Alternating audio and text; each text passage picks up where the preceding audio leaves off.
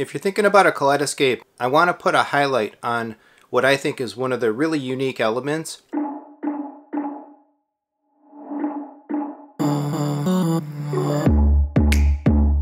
So I think one of the things that you get when you buy certain types of hardware, certain types of home theater and audio gear from, I would say, high-end, niche, small, focused companies is a level of engagement, customer experience, and user community experience that isn't quite the same for like mass market brands.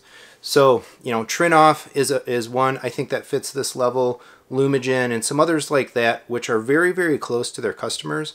And so Kaleidescape is, is the one that I specifically want to highlight and how the community, the engagement really kind of makes for an exceptional value add and like extra dimension of being in the platform. So I want to call attention to basically three places where I tend to spend time online uh, around the Kaleidescape community and being a Kaleidescape customer. And one of those is the Kaleidescape users group on Facebook. It's not a very big group, but it's well run um, and administered by folks that are big fans of the platform. There's engagement from dealers, from uh, users and owners that are in the home theater industry, you know, folks that know video, folks that know audio. And so the fact that it's a small group makes it very nice because everybody there is kind of qualified and and they're basically for the same reason. So Kaleidescape users group on Facebook. I tend to post my Kaleidescape videos there. Um, I engage with folks in comments when they post about joining into the platform, asking questions about the platform.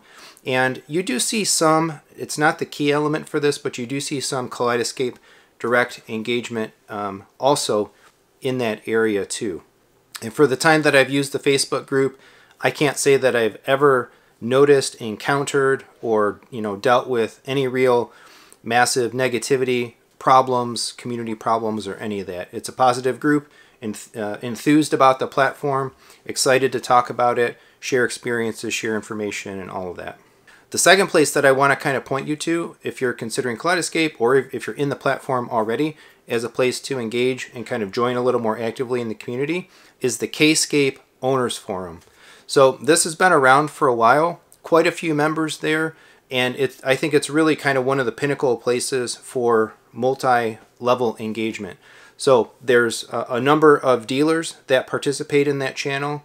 Kscape Owners Forum is one of the best places to go to buy and sell used Kaleidescape equipment. There's a marketplace forum that you can use there above all, it's one of the main places that Kaleidescape themselves directly engages with the owners, with the user community, and all of that. So it's not a very big company, but I'd say there's probably a handful of folks directly from Kaleidescape that will engage on the owners forum. So if you're having questions, or if you have questions, if you're having trouble, if you're not getting uh, you know all of the support that you need, if you have suggestions, taking that stuff to Kscape owners forum is just fantastic because you can get direct replies.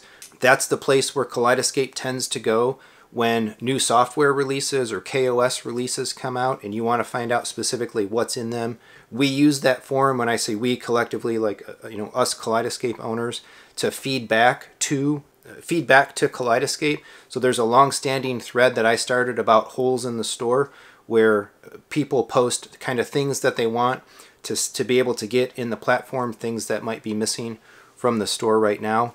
A couple other of really, really amazing contributors there basically have threads and maintain threads where they track all of the sales and price changes that happen in the store, which are not always necessarily reflected directly on like kaleidescape.com or in the app. So the the movie the movies on sale thread is like a is a daily stop in, in a heavily leveraged uh, part of that forum where and again all the price reductions are posted.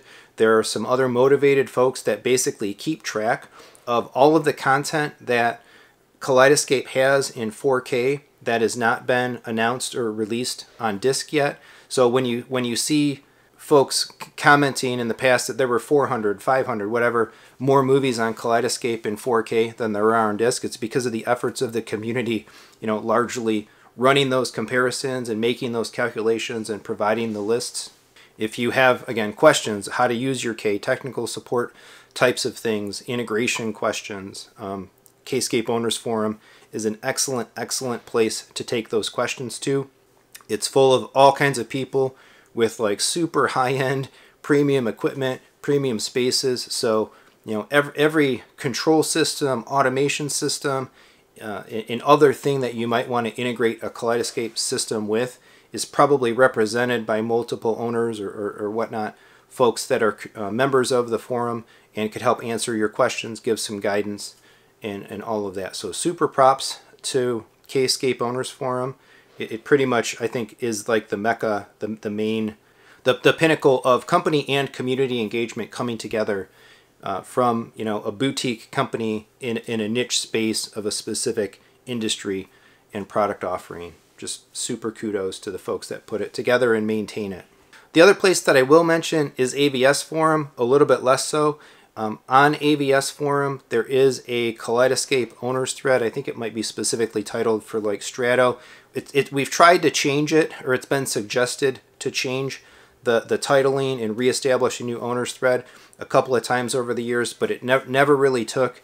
So its location in the forums and its name might not be the best, but you will see some crossover. So a lot of the folks that are in the Facebook group are some of the same folks or many of the same folks that are on Kscape Owners Forum are also many of the same folks that are in the AVS forum thread.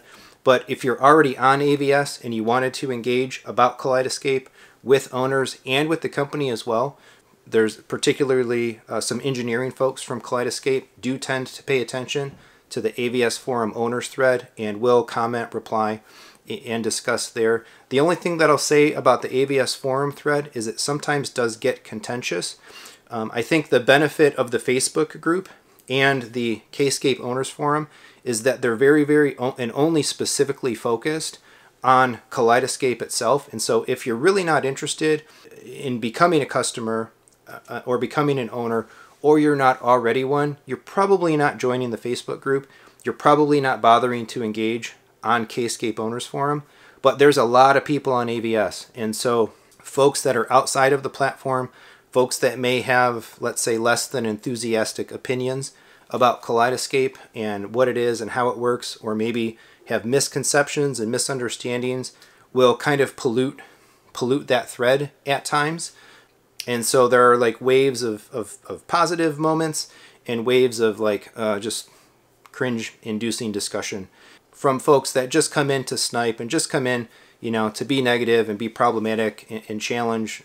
Not that I have any problem with folks posting, you know, critical feedback and, and all of that. I do. I tend to do that in all of those places as well. But there's a difference between critical but constructive and, and qualified feedback and, you know, just being a jerk or whatever it might be. So do be do be advised if you if you judge and base your entire kaleidescape uh, customer ownership experience in the community by the AVS forum thread alone, you're not getting enough of the positive energy. So I think it's fantastic that K, you know, K, K folks, K employees um, in prominent positions come to these locations and engage with us, take our feedback, answer questions, clarify misconceptions, and, and all of that. So I really hopefully encourage them to continue doing that hopefully, you know, the community never drives never drives the company away from wanting to engage with the folks. If you're a prospective customer, if you are an existing customer, if you just want to learn more about what Kaleidescape is all about, those are some really excellent resources that I recommend you check out. I run in all three of those circles. If you have any other community places on the internet that I'm overlooking, that are great places for Kaleidescape, let me know. Post in the comments for the others here.